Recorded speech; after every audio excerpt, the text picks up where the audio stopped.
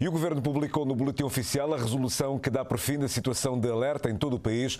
Com esta medida, a utilização de máscaras, testes e certificados de Covid deixam de ser obrigatórios para viagens interilhas e internacionais com partida a partir de Cabo Verde. Hoje, o Diretor Nacional da Saúde realçou que, mesmo com a situação confortável perante a pandemia da Covid, os não vacinados devem aderir à vacinação porque a Organização Mundial da Saúde não declarou o fim da pandemia.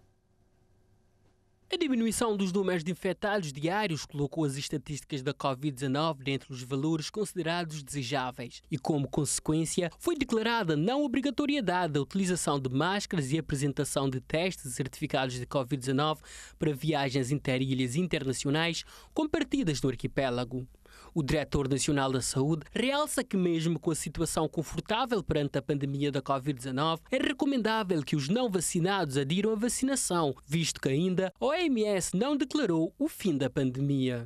A situação epidemiológica esteja, uh, ou seja, bastante confortável não temos uma situação de agravamento neste momento, muito provavelmente por causa da, da taxa de cobertura da vacinação aqui em Cabo Verde.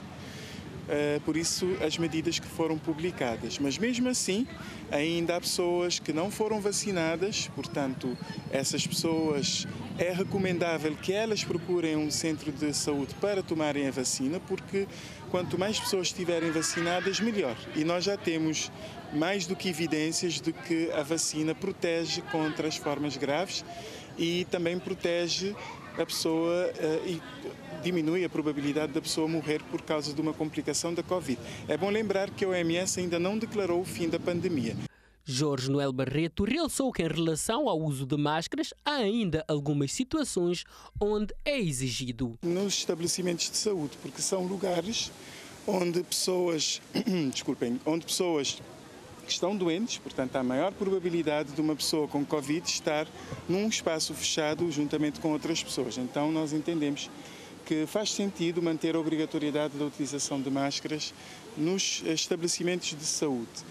Também na, nas instituições ou nos estabelecimentos que recebem idosos, por exemplo, lar de idosos ou centro de dia, nós também achamos que é importante manter a obrigatoriedade porque os idosos são uma população de, de risco e, portanto, convém ainda manter essa proteção. E, para além disso, todas as pessoas que forem frequentar um espaço fechado, mas que tiverem sintomas que podem ser sugestivos de Covid, é também é, obrigatória a utilização de máscara para não estar a contaminar, a propagar a infecção para outras pessoas. O diretor nacional da saúde falava à margem da feira de medicina tradicional realizada na praia. E vale a pena atualizar os números da Covid anunciados hoje pelo Ministério da Saúde. Hum, nos casos eh, que foram analisados 162 amostras, há eh, dois casos positivos, seis recuperados. Neste momento, o país tem 12 casos ativos.